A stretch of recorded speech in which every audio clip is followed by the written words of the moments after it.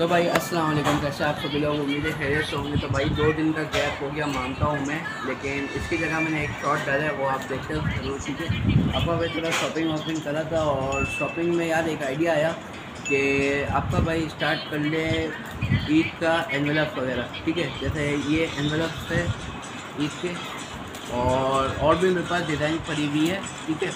और ये देखें।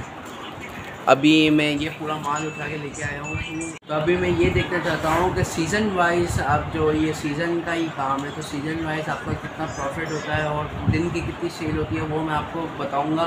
ठीक है? तो आप मेरे साथ रहे। अभी तो कम से कम बारह तेरह दिन बाकी है तो उसके हिसाब से मैं आपको बताऊँगा कि मेरा प्रॉफिट कितना होता है।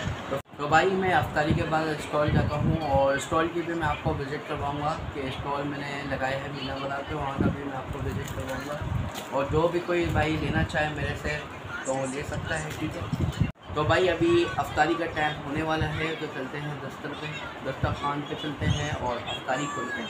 भाई अभी सायरन बज चुका है और अभी रुका खोलते हैं। तो भाई देख सकते हैं कि माशाल्लाह अल्लाह ताला की कितनी रहमत है और ये भाई तरन मेरे अबू ऑफ़िस से आते हुए, लेते हुए आए हैं। तो भाई इन सब के चक्कर में तो भाई इसका तो दीदार करवाना भूल गया ये तो भाई दस्तर खान की शान है, अफ्तार की शान है। तो भाई अफ्तारी करके खड़ा हो चुका हूँ और मगरब घर पर पढ़ रहा हूँ, मगरब की नमाज़ निकल गई है। मगरब पढ़ के मैं जा रहा हूँ अपने स्टॉल में सही है? और फिर आपको वहाँ का पूरा व्यू दिखाता हूँ स्टॉल का। और जो भी भाई मेरे से लेना चाहे वो ले सकता है कोई मसला नहीं है।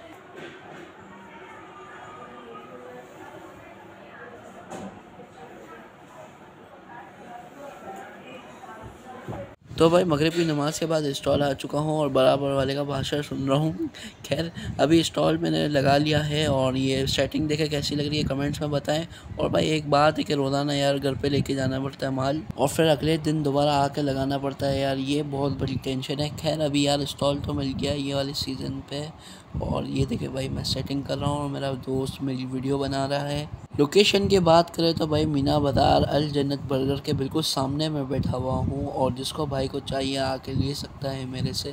स्टॉल लगाए हुए भाई, डेढ़ घंटा हो गया है और मेरी आदत है कि मैं अफ्तारी के एक डेढ़ घंटे बाद खाता हूँ तो अम्मी का कॉल आ गया कि भाई खाना रेडी है, आके ले जाओ। तो अभी जाते हैं घर पे खाना लेने।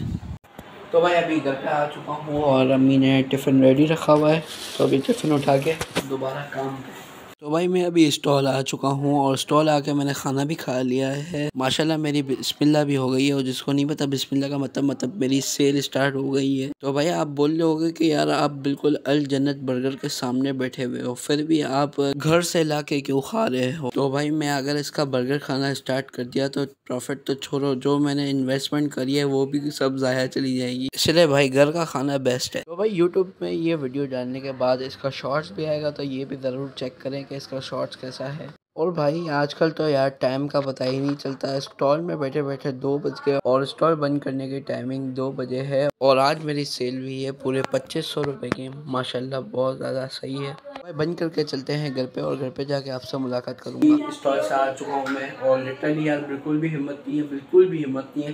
क्योंकि अफ्तारी के बाद तो हिम्मत होती ही नहीं है और स्टॉल में बैठने के बाद तो बिल्कुल ख़त्म ही। तो अभी भाई बहुत थका हुआ, पता है यार ब्लॉग आज का बहुत छोटा है तो क्या कर सकते हैं? भाई आज के लिए बस इतना ही, मिलते हैं अगली वीडियो में, तब तक के लिए, गुड बाय